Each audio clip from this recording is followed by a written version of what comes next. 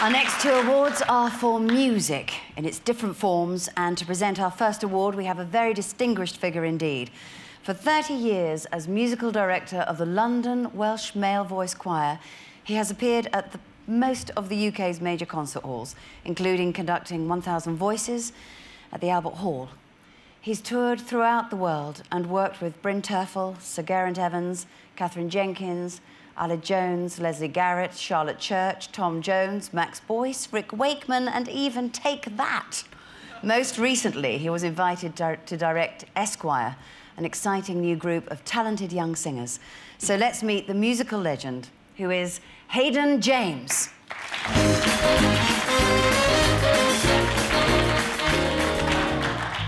Thank you. This afternoon's winner was born without his right hand just 21 years ago and only began to play the piano at the very late age of 14. And now he's become one of the most celebrated pianists in the world. At 17, he was awarded a place at the Guildhall School of Music, and just two years later was awarded its annual prize. He's currently continuing his studies at the Royal College of Music. He's played numerous recitals throughout the UK and has been a regular participant at the very prestigious Cheltenham International Festival. His new album, entitled Debut, is, as they say, now in the shops and available for Christmas. Let's hear him playing.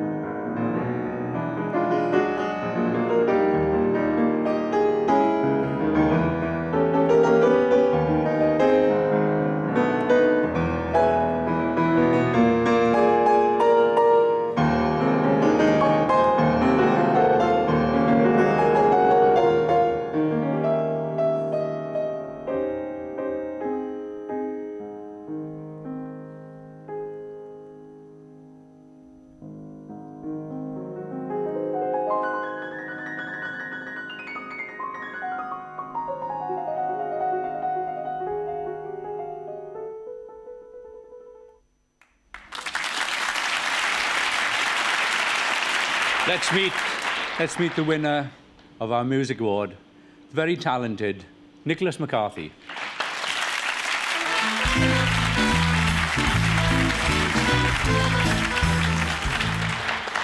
Wow, thank you. It's nice to see the practice is paying off slowly but surely. Um, it's such an honour to be here today. I have written a speech, but I've completely forgotten it from there to here. Um, but yes, I'm su such an honour. I'd like to thank, Ability Media and the Leonard Cheshire, and uh, importantly, my family with their ongoing support financially and emotionally. So thank you.